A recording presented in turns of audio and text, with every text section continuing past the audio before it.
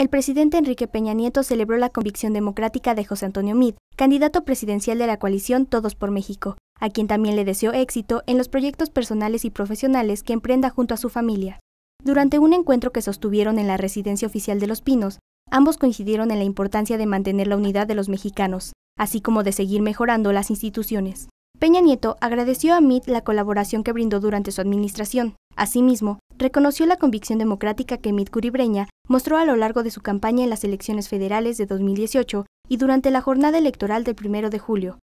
Notimex.